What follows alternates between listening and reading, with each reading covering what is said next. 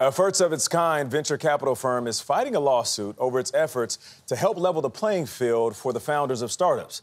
According to the Fearless Fund, just 0.39% of VC funding goes to businesses led by women of color.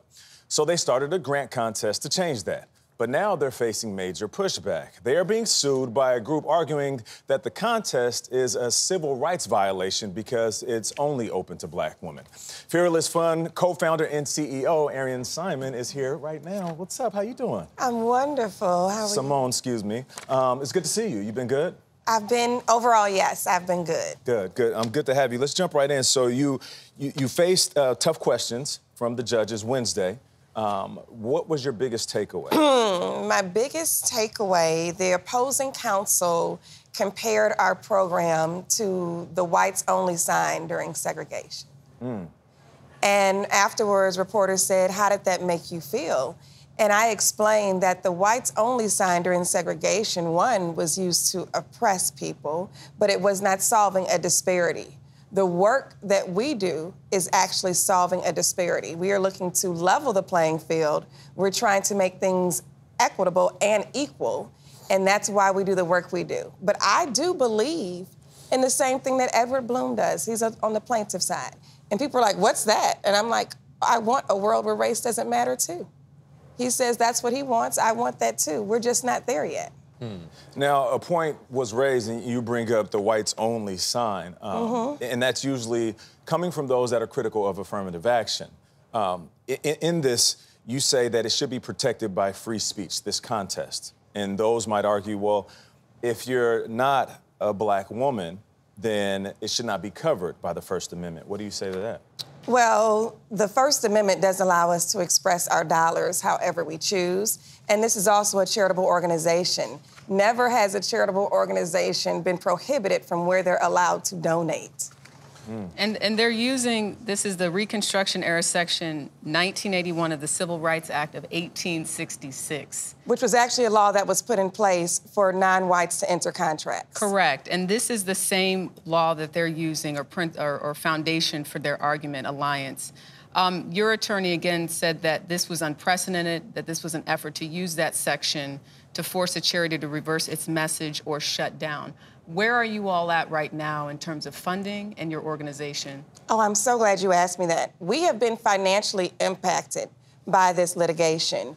We have missed out on probably anywhere upwards of eight figures in mm. potential investments that were coming through prior to the litigation.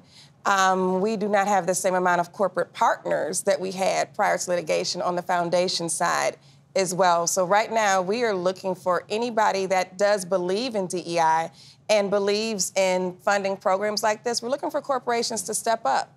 So th- this is part of a bigger and quite simple, actually, conversation going on in this country, right? We all agree, everyone recognizes the disparities in wealth and Most access uh, mm-hmm. in America. We were just talking about it yesterday, right? So the question is, how do you address those disparities?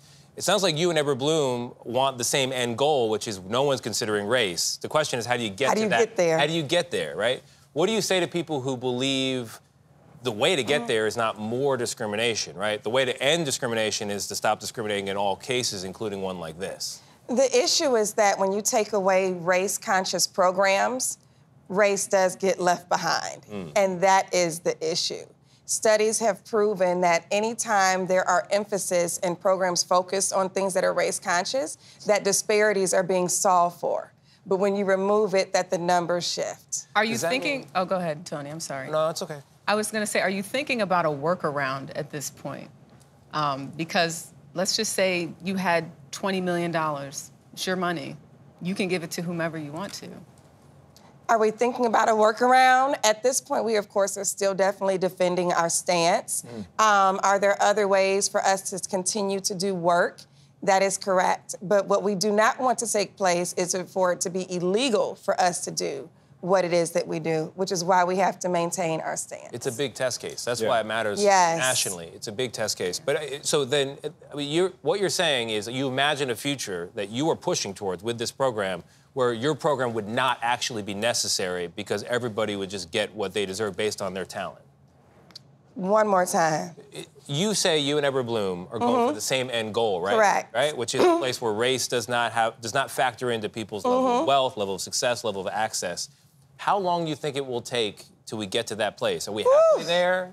It will take trillions of dollars to move the needles in these statistics. Women of color represent over 20% of the US population while receiving a fraction of percent of funding. It's going to take trillions of dollars to get to a place where we are equitable and equal. Hmm. But if we can get there, I'm here for it. It's super interesting. Yeah, we're just trying to run the race, and there's such a far lead, which Yeah, that yeah. is what we are trying to address, that disparity. Um, you know, do you, if this does go to the Supreme Court, do you mm-hmm. have what it takes to take this fight that far? We don't have a choice. Hmm. we don't have a choice. If it goes to the Supreme Court, we will have to defend our stance. We won't have a choice. Hmm.